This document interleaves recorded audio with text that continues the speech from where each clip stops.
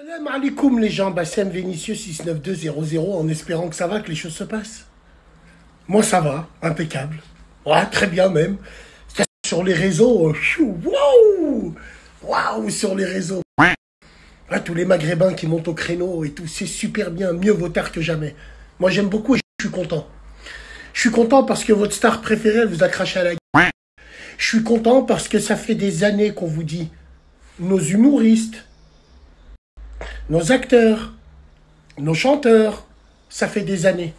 Cette série est juste le condensé et la finalité de tout ce qu'on prévoyait, sans faire du shirk et sans faire Nostrabasmus. Absolument pas.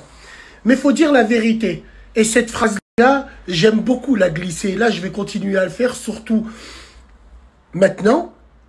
Comme on fait son lit, on se couche, frères et sœurs maghrébins. Oui, on se couche.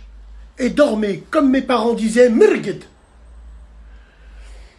Quand tu vois dans cette série où le dealer finit à la mosquée, où la voilée en boîte de nuit cherchait sa fille, sa fille, à 100% maghrébine. Elle n'est pas maghrébine. Elle est d'une autre communauté, mais elle est actrice. Et alors, elle est actrice, elle fait son travail. Il y a des gens comme Tupac qui ont refusé de faire musulmans dans des films. On appelle ça de la fierté, on appelle ça de la conviction. Mais bon, job is job. Quand tu vois tout ça là, mais c'est tout simplement la suite de nos humoristes, de nos acteurs et de nos chanteurs. Quand un humoriste, il est obligé de faire rire les autres communautés en se moquant de sa communauté, en utilisant ces clichés-là, ben les diablesses comme Nawel, elles s'assoient et elles regardent, elles prennent des notes tout simplement. Tout simplement, les gars. J'ai envie de vous dire, l'hémorragie est ouverte depuis des années.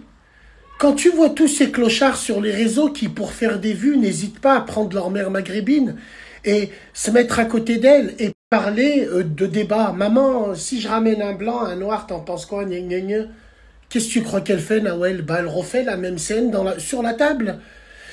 Quand tu vois que certaines mamans, ce que j'appelle le cimetière des éléphants, le cimetière des éléphants, ce sont des vieilles casseroles, des cardans de Fort Fiesta, qui veulent rattraper leur jeunesse perdues avec leurs filles. C'est pour ça qu'elles leur ouvrent les vannes.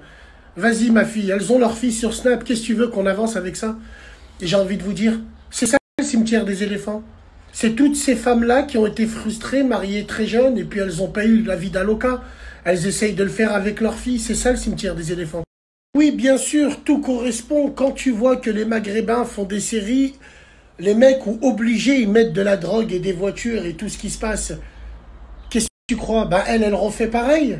Et depuis qu'ils ont rentré le din euh, dans cette aja, qu'est-ce que tu veux que je te dise? Maintenant, c'est comme ça. Alors, il manquerait plus qu'il y ait un imam du net qui vient nous faire la morale sur ce film en disant ah, ah, ah concentrez-vous sur votre allez, allez, bref, venez pas vous plaindre. Ça fait des années qu'on tire la sonnette d'alarme.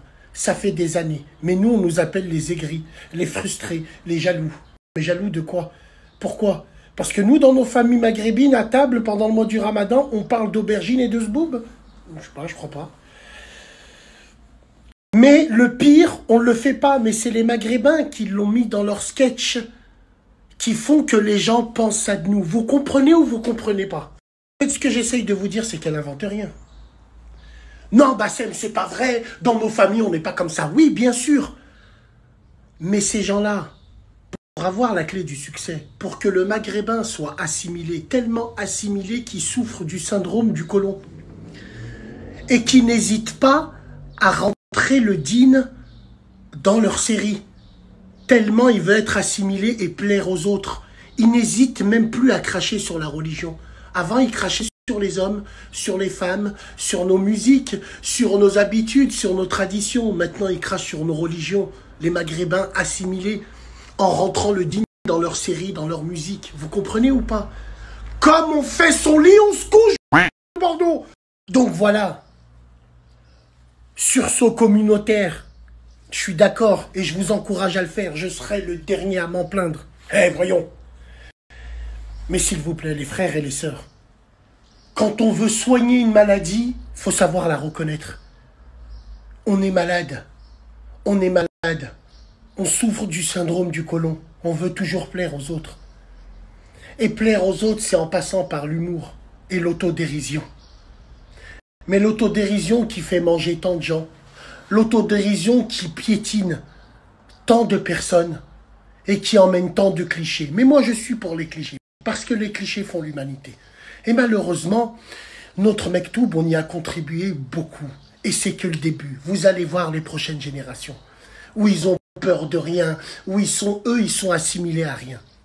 Donc voilà, mesdames et messieurs, c'est pour ça que ça fait tant de bruit. Et comme d'habitude, on en a parlé, vous l'avez mis numéro